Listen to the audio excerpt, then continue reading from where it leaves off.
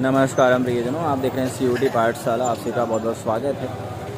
आज काशी विश्वविद्यालय में बहुत दिनों बाद इतना क्राउड देखने को मिला है, इतनी भीड़ देखने को मिली है, क्योंकि लगभग दो ढाई साल बाद पहली बार यहाँ पे इंट्रेंस एग्ज़ाम होने जा रहा है। यहाँ पे बी एच से ही एडेड एक स्कूल है एस सेंट्रल हिंदू स्कूल उसमें गर्ल्स बॉयज़ दोनों पढ़ाई कर सकते हैं।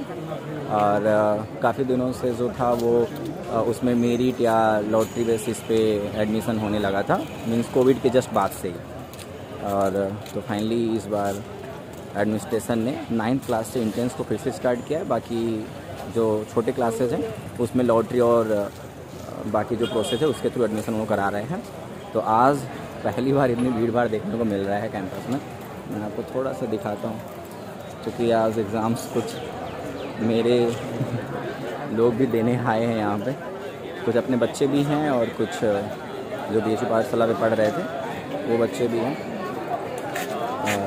तो ये यहाँ पे जो सेंटर है वो है न्यू लेक्चर थिएटर आईएमएस का जो बिल्डिंग है। और मुझे लग रहा है अप्रॉक्स बी एच के हर एक डिपार्टमेंट फैकल्टी में सेंटर्स बना रखा है। बाकी शहरों में भी डिपार्टमेंट फैकल्टी में इन्होंने सेंटर बना रखा है। जैसा लोगों ने अपना सेंटर चूज़ किया था।